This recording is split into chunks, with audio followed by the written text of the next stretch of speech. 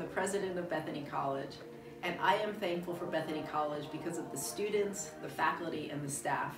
It has been just such a joy to work here because of the people that I work with. Rockar Stockar.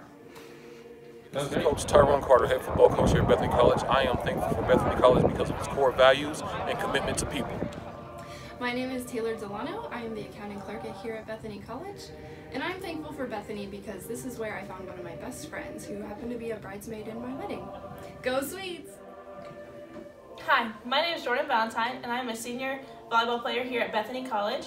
One of the things that I am most thankful for at Bethany is just the community that it brings together, the people you get to meet, and the lifelong friends you get to make. Hi, my name is Matt Pfannenstiel, and I'm the Vice President of Student Affairs. I'm thankful for Bethany College because students get to develop lifelong friendships with their peers, faculty, and, and staff of the Bethany community. It's a great day to be a Swede.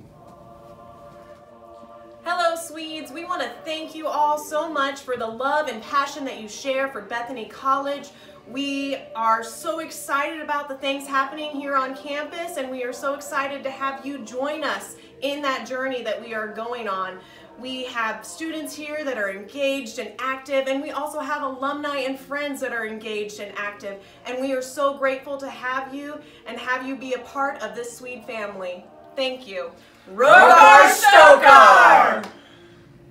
Hi, I'm Dr. Mark Lucas, and I teach music here at Bethany College, and I am thankful for the Messiah tradition at Bethany.